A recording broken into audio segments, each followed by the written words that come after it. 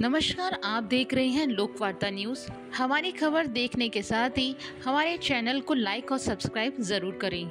मुख्यमंत्री भजन लाल शर्मा आज सीकर के सांगले धोनी खीवादास महाराज की पुण्यतिथि समारोह में शामिल होने के लिए पहुँचे। सीएम जयपुर से हेलीकॉप्टर के ज़रिए सांगलिया पहुँचे, जहाँ वो खेमदास जी महाराज के तेईसवीं वर्षीय कार्यक्रम में शामिल हुए।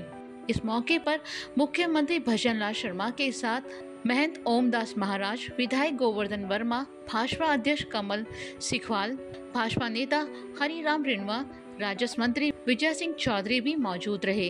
इस मौके पर धोनी माता पर धोग लगाकर मुख्यमंत्री भजनलाल शर्मा और राजस्व मंत्री विजय सिंह चौधरी ने पीठाधीश्वर ओमदास जी महाराज से आशीर्वाद लिया। महाराज श्री ने दुपट्टा पहनाकर सीएम भजनलाल शर्मा को सम्मानित किया।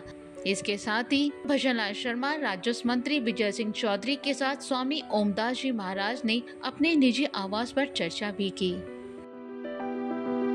महाराज